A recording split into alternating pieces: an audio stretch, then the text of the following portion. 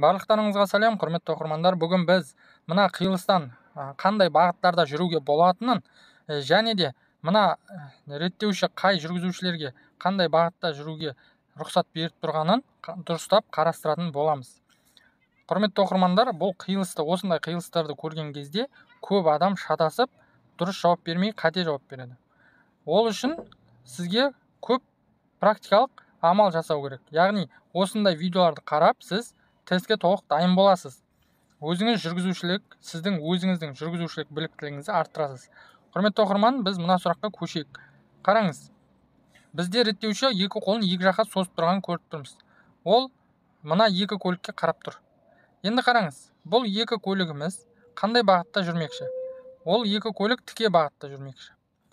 Енді ол екі көлік тіке жүруді ал мына біздің қызыл автокөлігіміз солға бұрылмақшы. Одан кейін мына автобус та солға бұрылмақшы жүк көлігі тіке жүрмекші. Енді қараңыз бұл қиылысты мына басымдық белгілері қиылыста тұр иә? Басымдық белгілеріне біз қарамаймыз. Себебі бұл қиылысты мына реттеушіміз реттеп тұр. Демек реттеуші болған кезде реттеушінің сигналына бағынуымыз керек. Енді қараңыз реттеуші мына біздің қызыл көлігіміз солға бұрылуға оған рұқсат береді. Түсіндіңіз ба? Ол мына сіз ойлайсыз мынау неге жолдың сол жағында тұр деп. Себебі бұл бір жақты жол. Оны қайдан білдік? Оны мына белгіден білдік.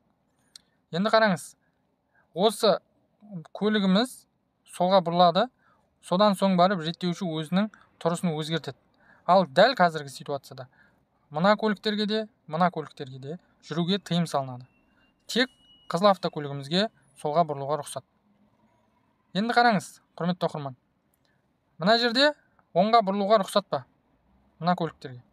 Әрине жоқ. Себебі ол бір жақты жол. Оңға бұрыла алмайды. Тек солға бұрыла алады және тіке жүре алады. Мына жүк көлігімізге солға бұрылуға болмайды. Себебі а оңға бұрылуға болмайды. Себебі ол бір жақты жол. Ол тек солға бұрыла алады немесе тіке жүре алады. Түсіндіңіз ғой? Міне біз бағыттарды қарастырып шықтық және реттеушінің осы тұрысы кімге рұқсат береді кімге тыйым салатыны түсінікті болды иә. Артынан алдынан қолын екі жаққа созып тұрған кезде тыйым салынады.